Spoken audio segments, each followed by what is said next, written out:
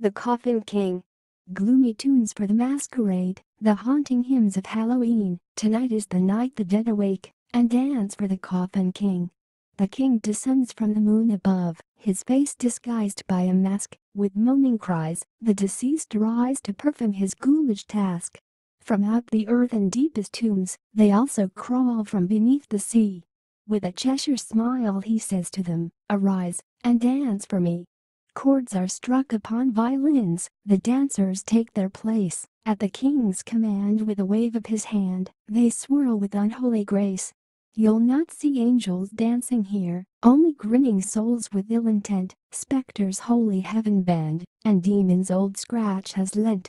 As crescent moon shines above, screeching songs sway the night. Wolves howl for blood, within this flood of strange grotesque delight. They raise their cups of poison, a toast for the newly deceased. The wicked party is at its end, and they long to be released.